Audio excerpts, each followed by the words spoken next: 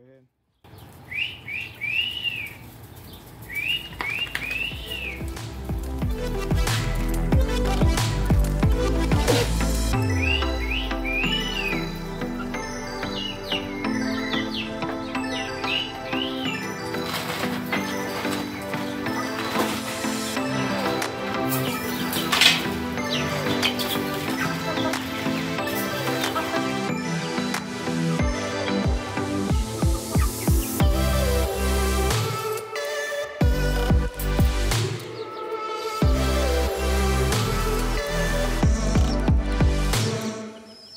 You laughing? We don't have mics, so we don't. I want to talk a whole lot, so you're gonna be too low. So we got Miss Blur's incubator number one and incubator number two over here.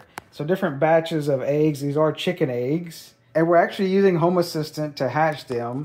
And doing a simple like Tapo camera and using the plug-in. I'll get to some of the software stuff, but basically I never trusted the humidity and the temperature on this because it looks like a DHT11, which those are pretty uh, not accurate. So I've thrown in several different sensors because you never can trust just one. Done the same thing on the Jankubator, as we call it, or as I call it. but I've got you can see one of the little ATC ones in there, and I think there's a Zigbee one hanging out right there because this isn't all accurate on this one either. So, yeah, let's get to it in. We'll show you in Home Assistant some of the stuff we do, and um, yeah, we will continue to do the story of when these actually hatch. I have some automation set up to go to Ms. Blur's phone, and just really simple this is the Aqara temperature sensor. Send the temperature and the humidity over when it goes out of spec.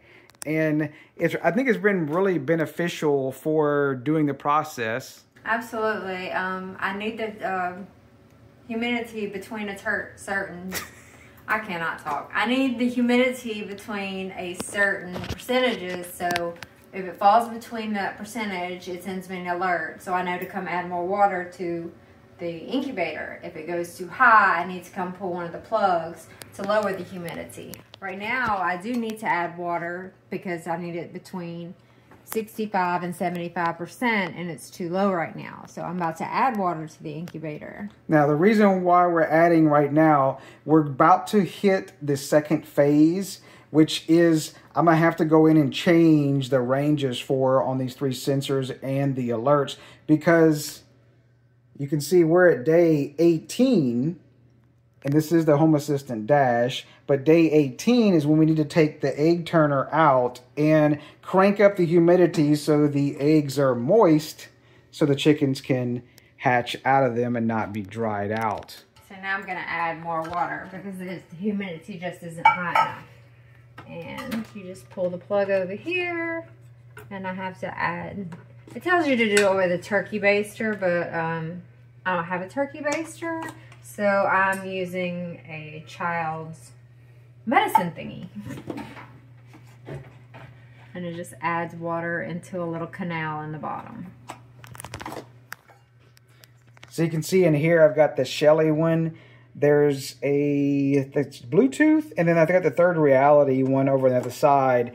They all kind of give different temperatures because they're in different locations of the box. You can see one of the eggs holders right there, the Aqara, and I've got it actually facing up. So that one's actually catching the heat from the incubator fan right there. So I, I always say that one is a little higher, but I like to go by that one on the humidity. And that's a Zigbee sensor. And this one is the Aqara. It says it's only 59. It should be drier because it's getting blown on by the heater. So about to put them in lockdown. We had three bad ones, basically taking a light and shining through it and you can see that they are actually clear. There's not just solid darkness in them, just basically called candling them. Is it moving right now? Yeah, I can see it. It goes from like dark to light. This is our second time candling them. We want to pull out the bad ones. Yeah, because that's going to, that would be bad, like rotten. So this was the automatic egg turner that was just turning them once a day for us automatically.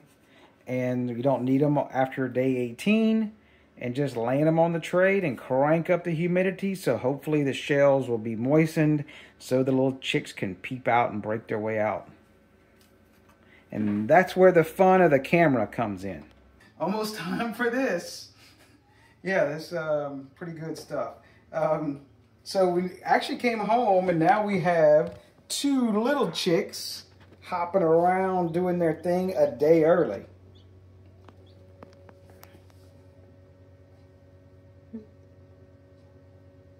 So definitely some of the other ones have pipped and you can see movement in various ones. You can see the little crack in that one right. If you look right there, you see that little hole there has been getting movement. And some of these other ones also have the little cracks, the holes in them. They're basically got to stick the beak out and hopefully they'll hatch tomorrow.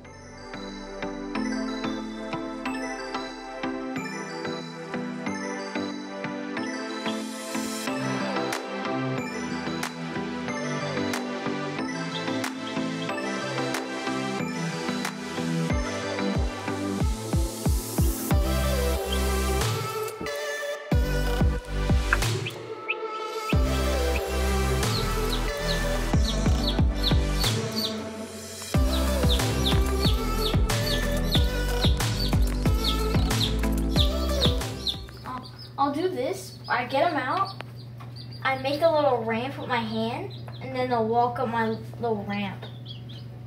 How many you got in there, dude?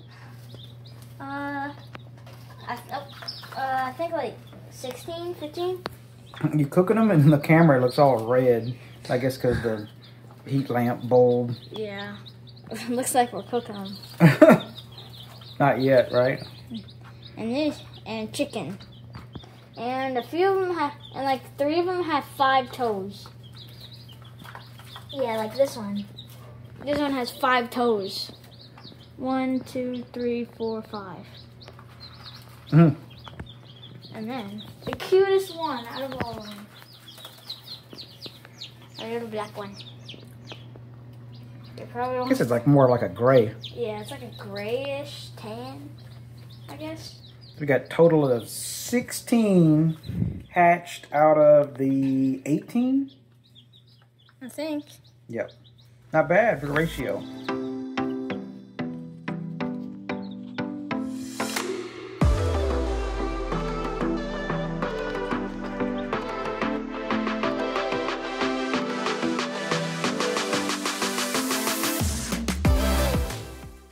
So I want to talk about the importance of temperature and humidity in the incubator because that's where the whole thing lies behind of like constantly notifying us. Now I will say you will drive yourself crazy as I have because yeah, I couldn't find like multiple sensors that would agree on each other, so I just kept throwing sensors in the box and trying to find like hey, let's do an average of ones. And you may be saying, "Well, what's the best sensor to use?" I don't know yet. There's one issue I'm going to talk about is you can see these sensors are exactly the same model. Crazy that you know I've have one out here that I used to just have in my network closet. That's why it's called Inkbird Network. And it just it I don't know why it runs so much hotter and the humidity is so much drier. This this is not actually correct. This other Inkbird, I think, is more in line. This is a Bluetooth sensor. I love the little sensors, but it runs on triple A's. And this one is, uh, I, I don't know. I'm, I it makes me want to like, well, I'll go buy another Inkbird. So I've kind of dropped that one out. Um, and the Zooz. It's a Zooz four in one I've used before. It's like the Z Wave thing.